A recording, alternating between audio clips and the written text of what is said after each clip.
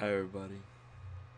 Let's say you want to play a song, watch videos in your computer, and you try to make your uh, loudest sound, but it still sounds very low. So I'm going to show you how to fix that. Once you go to Start menu, press Control Panel, look for sound. I think it's this one, Hardware and Sound, and then you go to Sound. I want you to go to communications. Okay, this one's gonna be over here, but once you press do nothing, you apply, you press OK, you press X, make your volume the loudest,